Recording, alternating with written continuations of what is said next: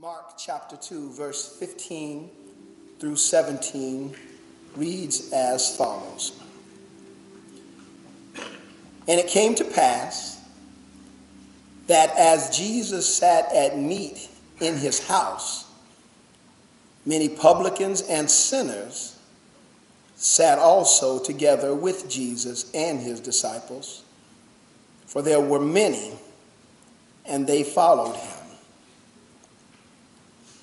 And when the scribes and Pharisees saw him eat with publicans and sinners, they said unto his disciples, How is it that he eateth and drinketh with publicans and sinners? When Jesus heard it, he said unto them, They that are whole have no need for of the physician but they that are sick. I came not to call the righteous, but sinners to repentance. May the Lord add a blessing to the reading, hearing, doing, doing, doing of his most holy word. This morning I want to talk to you use as a title these words uh, Attack, Attack of the Church Snobs. The attack of the church snobs.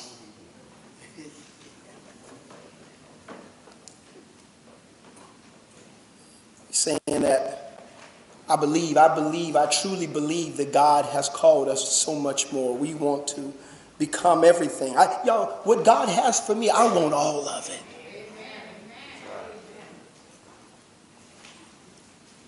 But even the fact that we are having to go through and spend the extra time uh, uh, gathering it to ourselves, getting an understanding, lets us know something, lets us know that something, something is happening in the church. Tell us, preacher. It's almost, y'all, it's almost like, like something that has come out of a movie script. Something out of Hollywood. Something like Amityville Horror. Y'all know y'all saw it too. Y'all done turned all hyper holy on me. But I, something I remember from, from when I saw it, and I'm gonna admit it even standing right here, that there was a line, there was a tag at the beginning of the movie that tried to make it even more eerie. And it said this the following is based on actual events. Only the names, location, and event have been changed. And I remember when it was all over, I said, no, that's way too crazy to be real. But, but what we are dealing with is like a movie, a movie about Christians, Christians who mutated, uh, uh, uh, they mutated into church snobs. Church snobs that, that were wreaking havoc in the body of Christ. In this text, in this text, the scribes and the Pharisees were being temple snobs. They were being temple snobs. They saw Jesus eating with the low down, dirty, degenerate tax collectors and some other sinners.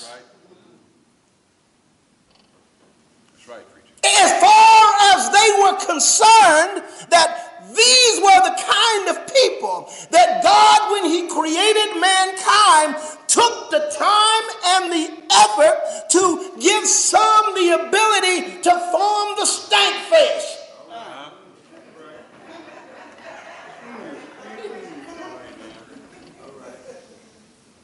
And in true snob fashion, these did not go and have a talk with Jesus they went and talked about Jesus Right, that's right. to some other folks. Because, y'all, that's what the snobs do. Tell us, preacher. What am I trying to get you to understand? If we want to be great church members, then you're going to need to understand and recognize that in the church, even today, there are still sinners and there are still snobs. Yes, yes. Yes, Now, the sinners, the sinner in the church is expected. that's right. The sinner in the church is expected. Why? Because all have sinned and come short of the glory of God. Church snobbery, however, on the other hand, church snobbery, I just made that word up. It- it is a mutation. It is a mutation in certain church members. A mutation. A mutation. Uh, Peter Parker was bitten by a spider. And because of that, he turned into a mutant that you know as Spider Man. Right. In Marvel Comics. Any other, any otherwise regular human being who has inherited the X gene right. is a mutant who can become one of the X-Men. Yes. Why? Because of his or her supernatural ability to have these powers that other folk don't have. Well, Why? They are mutants.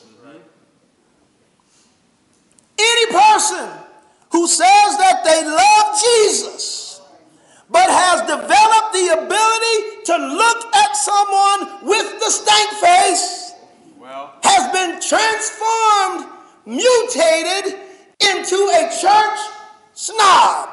right. And they too are mutants. I just imagine, I just imagine this movie. This movie that we are entitled in the attack of the church snobs. All right. Scene one. Scene one is entitled The Snobs Arrive. Mm-hmm. In this scene, everything starts out normal and right until the snobs arrive. Okay. Jesus said this, he said this in a conversation that started with a question Who do men say that I am? And when he got to Peter, Peter said, Thou art the Christ, Yes. the Son of the living God. And Jesus looked back at him, speaking of himself. He said, He said, And thou art Peter, but upon this rock. I will build my church. And this church will be so powerful. Yes. This church will be so strong. This church will have such staying power Yes. that even the very gates of hell shall not be able to prevail against it. Yes. The church, the church is, uh, the Greek word we use is, is the ecclesia. Uh, th- They are a called out assembly, assembly of those who have been called out of the darkness into his marvelous light. Yes. Yes. He says, My body will be an amalgamation of baptized believers, sinners Yes. who have been saved by grace. All have sinned and come short of the glory of God, but I will offer them sanctuary. Yes. I, I offer them a place to come. I'll invite them to come unto me because they've been, uh, they, they've labored and are heavy laden. And when they come to me, they can find rest Yes. Yes. unto their souls. Yes. In me, he says, in me they can find peace.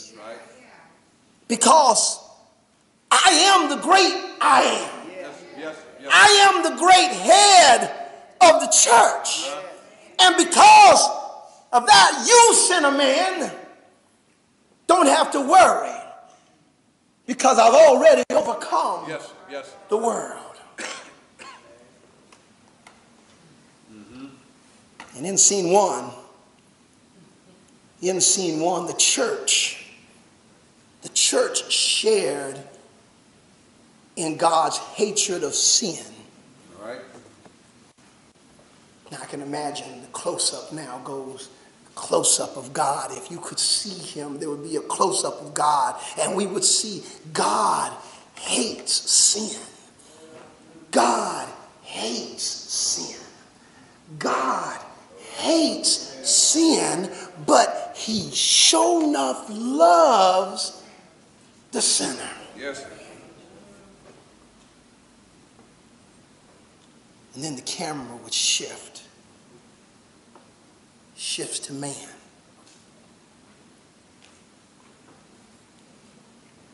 That's when the church snobs start to arrive.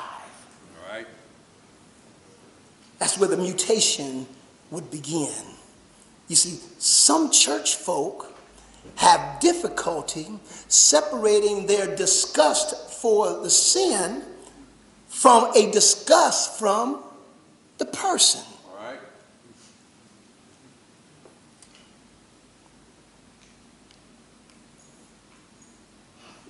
Sometimes, if a person would come into the church straight out of prison, they come in and they sit next to some of us. Stank face. Sometimes somebody might come in off the streets, still high on drugs, Well. still reeking of alcohol. And when they sit next to us, stank face, someone might have lived a homosexual lifestyle. Well. They walk into the sanctuary, sit down next to you, stink face. Some church folks have difficulty separating their disgust for the sin and they form a disgust for the sinner. Yes. Yes. Say that, preacher. Now, somebody might say, wait a minute now. What, what, what my concern was not so much about what they did, my concern was about how they smelled. And, when a person says that, then they understand, they, they point out that they really didn't quite understand, they don't quite understand what Jesus did for them.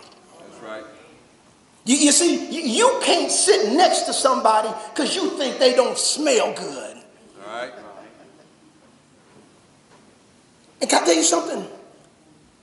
Sin stinks to God. That's right.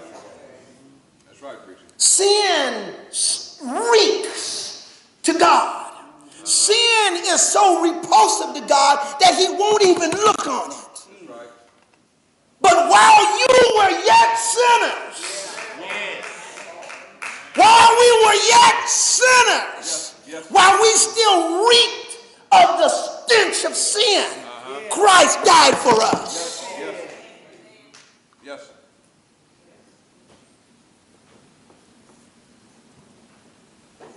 That's where the church snob shows up, and the screen fades to black. That's the end of scene one. Scene two starts with the title, The Attack. In, in the scene, the, the church snobs initiate their brutal attack on the church. And, and, and they strategically, strategically attack the church from the inside. Oh, Jesus talked about this in a parable. He talked about it in a parable. If, if you want to read it, you can look in Matthew chapter 13. I'm going to read it to you from the Message Bible and, and until you get the, the essence of the story. Listen, he said this. Uh, and he told another story. God's kingdom is like a farmer who planted good seed in his field. That night, while his hired men were asleep, his enemy sowed thistles all through the wheat and slipped away before dawn. When, when the first green shoots appeared and the grain began to form, the thistles showed up too. The farmhands uh, came to the farmer and said, Master, that was clean seed you planted, wasn't it? Uh, where did these thistles come from? He answered, Some enemy did this. Yes, yes. The church snobs have been planted in the church by the enemy to attack the church from the inside, to make it an inside job. Uh-huh. Their mission, their mission is to change the church from a hospital for sinners to a hotel for saints. All right. To change it from a hospital for sinners to a hotel for saints. Y'all, the hospital, the hospital is where folks go because there's something wrong. The hospital is where sick folk go to get better. At the hospital, in one room, you, you, you might have somebody who's in pain. In another room, you have somebody who is troubled. In another room, you have someone who's crying. And very possibly in another room, you have someone who's dying. Uh-huh. In a hospital, people handle their, their situation differently. Some people uh, handle their situation by crying. Uh-huh. Some people deal with their situation by being angry. And some people may do what we might call crying, whining, and complaining. But y'all, that's just what happens to people when they're in the hospital. Yes, sir. The church is a hospital for sinners. That's right. That's right. The church is a hospital for sinners. This is where people who by their own admission are here because their life is all jacked up. Yes, yes. And they come here to get better. Mm-hmm. And then people call us hypocrites. They call us hypocrites because we got some of the same people in the church on Sunday morning that was at the club on Saturday night. They call us hypocrites because some of y'all's name and picture is on the high rollers wall of fame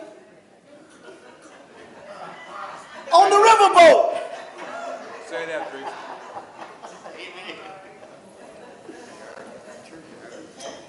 And, and, and some of y'all, some of y'all have some words in your vocabulary that they will not permit you to use on HBO, Cinemax, or Showtime.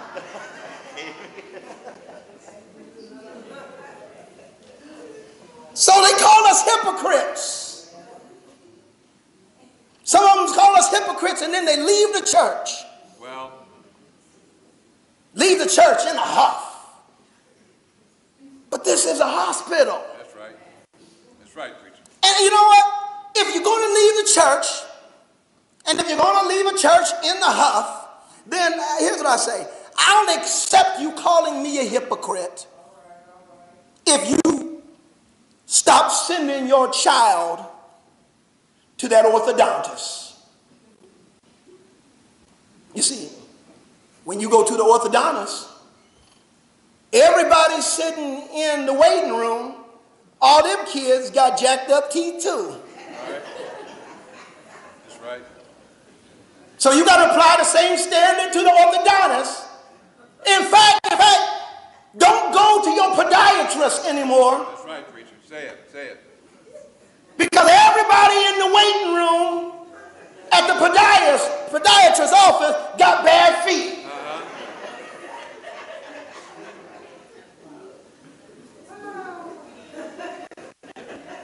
So look, if you if your teeth are messed up, if your teeth are crooked, you go to the orthodontist.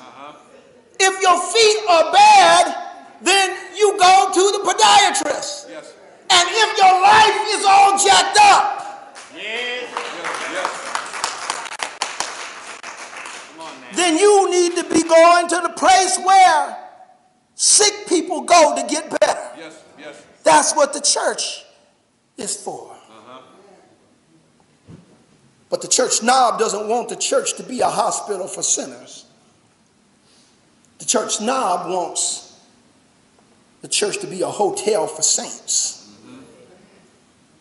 Because the church snob doesn't want to deal with people's pain, don't want to deal with people's troubles, don't want to deal with their sickness, don't want to deal with crying folk, don't want to deal with angry folk, don't want to deal with people who are perceived to be whining and complaining all the time. Only thing that the church want, that the, the, church now wants is a hotel. They want a hotel, a place to go where they can rest, where they can be served, and where they don't have to be inconvenienced by people who got problems in their lives. Yes. Yes. Yes.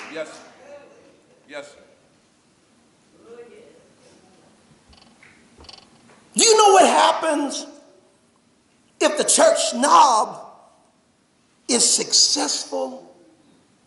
If the church snobs are successful in their attack, it would turn the church from being a vehicle that God uses to change the world to becoming a social club. That's right. We would just become a social club where we would be getting hung up on very trivial matters like what shade of blue are we wearing to this evening's affair? Right.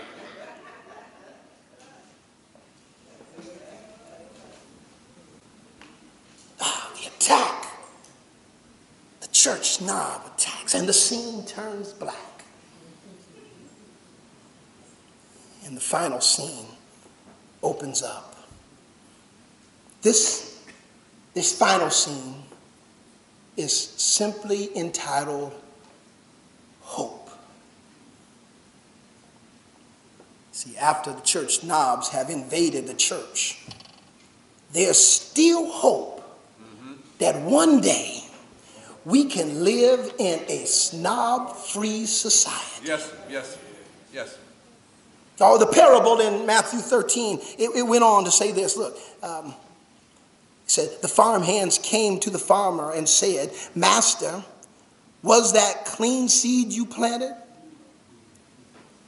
Where did these thistles come from? He answered, Some enemy did this. The farm hands asked, Should, should we weed out the thistles? He said, No, if you weed the thistles, you'll pull up the wheat too. Uh-huh. Let them grow together until harvest time. Then I'll instruct the harvesters to pull up the thistles and tie them in bunches for the fire, then gather the wheat and put them in the barn. Yes. Yes. Yes. What is that saying?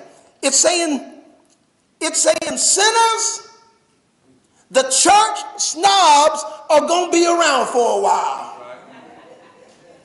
Uh huh. If you came to church today thinking that you wouldn't encounter any snobs, you'll be disappointed. There are still some church snobs in the church today. Yes, yes, And we're going to have to endure them until Jesus comes back. yes. But it's also telling the snobs, snobs, the sinners are going to be around here for a while. Yes, yes, And if you came to church today thinking that you to encounter any sinners, you'll be sad to know that at this church, even the pastor yes, yes. is a sinner. Uh-huh. Oh, but baby, I'm a sinner saved by grace. Oh, I'm not what I ought to be, uh-huh. but thank God I'm not what I used to be. Oh, I once was lost, but now I'm found. I once was blind, but now I see. You see, if any man be in Christ, he's a new creature. All things are passed away, and behold, all things, church, become new. So please be patient with me. My God is not through with me yet. I'm still putting on some new stuff. Yeah. Is there anybody today that still putting on some new stuff? I can't speak for you. I just know about me. I got me a new walk. I got me a new talk. I got me a new song. And every morning I get to wake up to some brand new mercies. And it's all because of Jesus. Because of Jesus, I got new hope for a new life. And you see, it was on a Friday. We started working on my new plan. On a Friday, on a hill called Calvary. Oh, they hung him high, stretched him wide, pierced him in his side,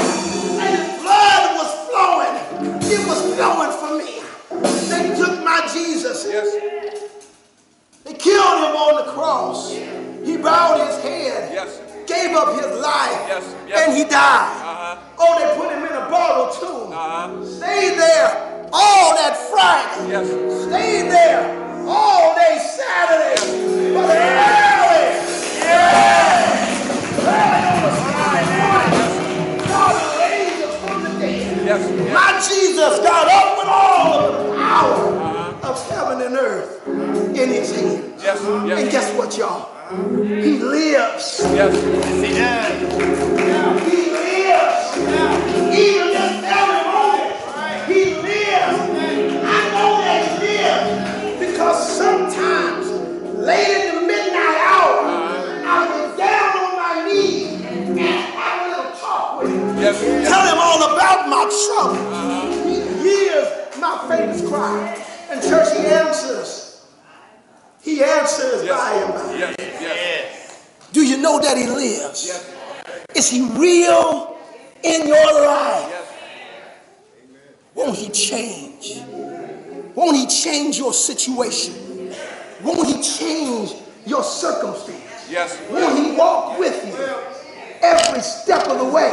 Because he promised yes, never to leave me. Never, never, never to leave me alone. God bless you, church.